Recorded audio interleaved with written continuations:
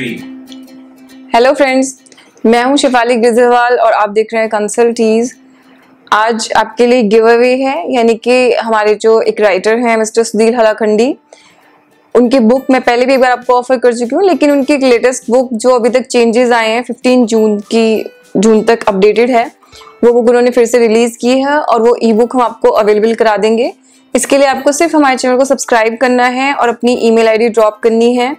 अब अपनी email ID जब ड्रॉप करते हैं तो प्लीज़ उसके बीच में कोई स्पेस या कोई आ, कुछ ऐसा एंटर नहीं करें। उसको पूरा ध्यान रखें कि वो कम्प्लीटली एंटर हो क्योंकि फिर उसको फॉलोअप करना मुश्किल हो जाता है। तो आइए स्टार्ट करते हैं हमारा आज का वीडियो इस वीडियो में आज हम कुछ एक्शन पॉइंट्स डिस्कस करेंगे। यानी कि वो इंपॉर्टेंट एक्शन पॉइंट्स जो किसी भी बिज़नेस पर्सन को कर लेने चाहिए जीएसटी के आने से पहले। तो कौन कौन से इंपॉर्टेंट पॉइंट्स हैं जो मुझे जीएसटी आने से पहले करना चाहिए?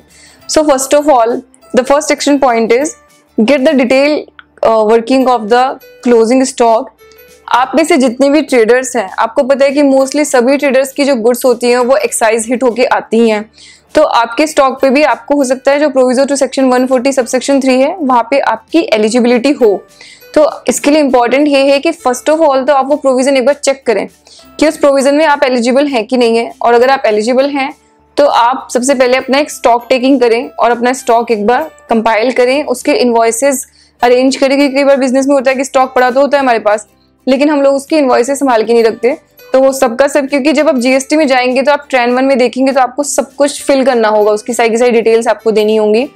तो वो सब कुछ आप एक बार पहले अपनी स्टॉक टेकिंग करें जीएसटी आने से पहले।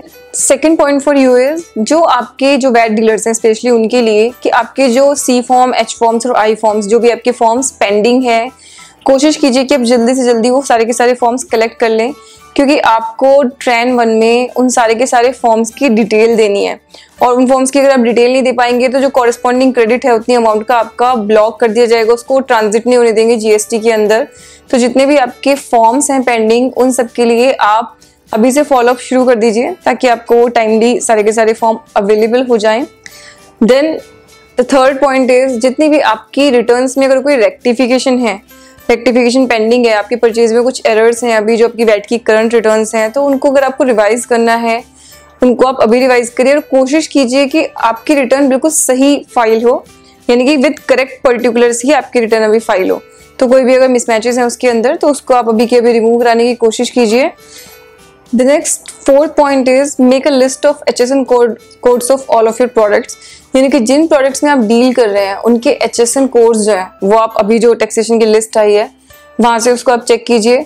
साथ में उसी लिस्ट से आपको ये भी पता चलेगा कि आपको सी जी एस टी का बेनिफिट वहाँ पे कितना अवेलेबल होगा। देन अगर आपने कोई सेंट्रलाइज uh, रजिस्ट्रेशन किया हुआ है तो सेंट्रलाइज रजिस्ट्रेशन में आपको जितने भी आपके अलग अलग ऑफ़िस हैं मतलब अलग अलग स्टेट्स के अंदर तो आपको स्टेट वाइज यहाँ पे रजिस्ट्रेशन क्योंकि लेने पड़ेंगे तो आप कोशिश कीजिए कि आप स्टेट वाइज जिस जिस स्टेट में रिक्वायरमेंट है, वहाँ पे आप रजिस्ट्रेशन ले लें। साथ ही आप कंपोजिशन में जाना चाहते हैं कि नहीं जाना चाहते, वो भी एक क्रूशियल डिसीज़न है, अभी जो आपको लेना है तो आपको ये बेसिक प्रोविज़न पता होना चाहिए कि आपको कंपोजिशन लेवी कब मिलेगी। तो अगर आपकी इंटर स्टेट सप्लाई है एक रुपये की भी तो आप कंपोजिशन से आउट हो जाएँगे।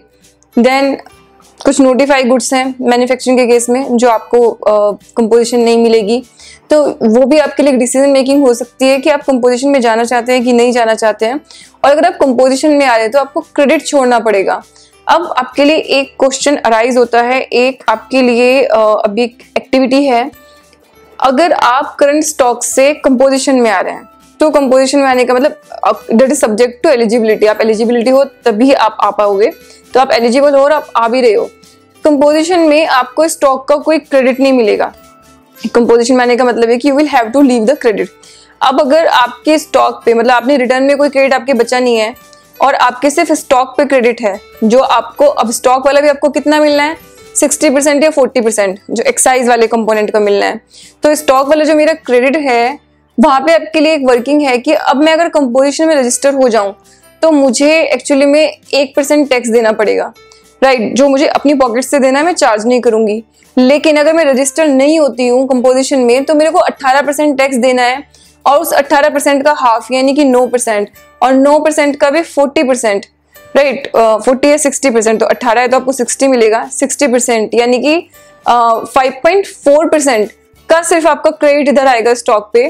तो this can be a working कि क्या मैं एज ए कंपोजिशन डीलर चल जाऊँ? क्योंकि फिर सेल प्राइस अच्छा यहाँ पे ये भी इंपॉर्टेंट है आपके लिए जानना कि एंटी प्रॉफिटिंग एप्लीकेबल है इस पे।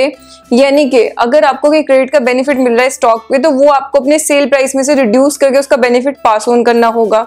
तो अगर मैं वैसे भी कंपेयर करूँ तो मेरे लिए ये ज़्यादा अच्छा रहेगा बेनिफिशियल रहेगा कि मैं as a composition dealer register हो जाऊँ, सिर्फ़ वन परसेंट मुझे टैक्स देना है क्रेडिट जाने दूँ। अदरवाइज़ आप अट्ठारह परसेंट टैक्स दे रहे होंगे। अलग बात है कि आप चार्ज करोगे, लेकिन आपका जो बायर है, उसको महँगा तो पड़ेगा ना। और वैसे कंपोजिशन लेवी तभी फ़ायदे में होती है जब आपको कंज्यूमर को सेल करना होता है। तो अदरवाइज़ आप कंज्यूमर को अठारह परसेंट महँगा बेच रहे होंगे।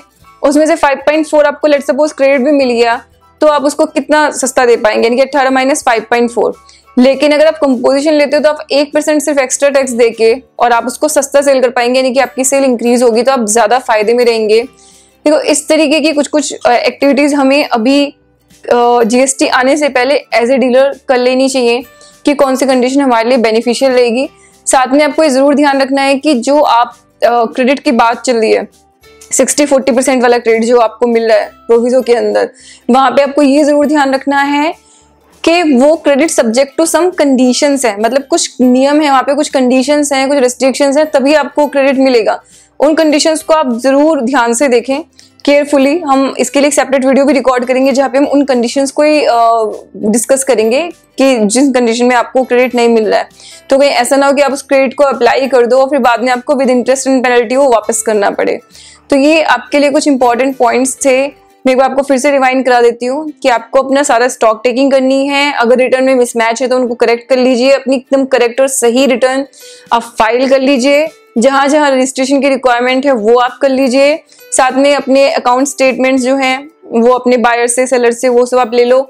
आप अपना जो आपका ए नंबर है, वो आप अपने सारे के सारे वेंडर्स को कस्टमर्स को कम्युनिकेट कीजिए मेल के थ्रू और उनसे उनकी आर नंबर भी आप मांग लीजिए।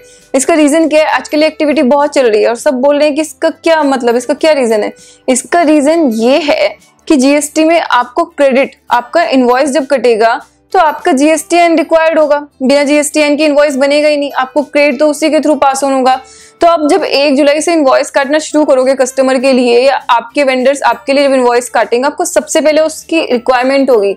तो आप भी अभी मेल पे ही एक्टिविटी कीजिए कि सब लोगों से, जितने भी आपके वेंडर्स हैं कस्टमर्स हैं, उनको आप अपना भी एआरएन नंबर सेंड कीजिए और उनका भी ए नंबर और लास्ट सबसे इंपॉर्टेंट एक्टिविटी है कि अपने इनवॉइस का फॉर्मेट चेंज कीजिए। ऑल दो एक वीडियो हम काफ़ी पहले कर भी चुके हैं, लेकिन एक और वीडियो में हम इनवॉइस का एक इमीडिएट फॉर्मेट भी आपके साथ शेयर करेंगे। तो ये सारी की सारी एक्टिविटीज़ आपके लिए बहुत इंपॉर्टेंट हैं। इसी तरीके से आप जीएसटी को समझते रहिए, देखते रहिए। आई थिंक जितना मुश्किल हमें लगता है, उतना मुश्किल नहीं होगा। कुछ महीनों बाद हमारी लाइफ आसानी होने वाली है। इसी आशा के साथ thank you so much for watching our channel